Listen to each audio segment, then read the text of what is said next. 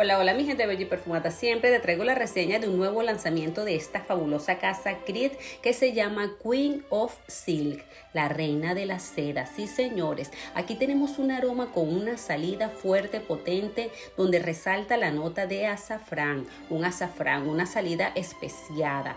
Poco a poco evoluciona nuevamente este perfume y va pasando unas notas florales, donde notas florales y afrutadas, donde en mi piel le siento muchísimo la nota de nada y la nota de maracuyá. Sí, señores, acompañado con un toquecito de incienso y un toquecito de madera de oud que le da ese toque a perfume nicho. Luego va evolucionando nuevamente en piel y pasando unos 15 casi a media hora que queda en mi piel cuando este perfume seca totalmente. En mi piel queda un suave, un sedoso, así como una seda, una seda de aroma de nardos semi dulce, no es un aroma tan dulce, acompañado sí con un suave toque también de maracuyá que le da esa dulzura al aroma y queda con un almizcle. El almizcle queda muy presente ya en la etapa final de este perfume y entonces queda como un toquecito atalcado, semi atalcado, no es un aroma que quede muy atalcado. Entonces, ¿qué queda en mi piel? Queda una nota de nardos con maracuyá y almizcle.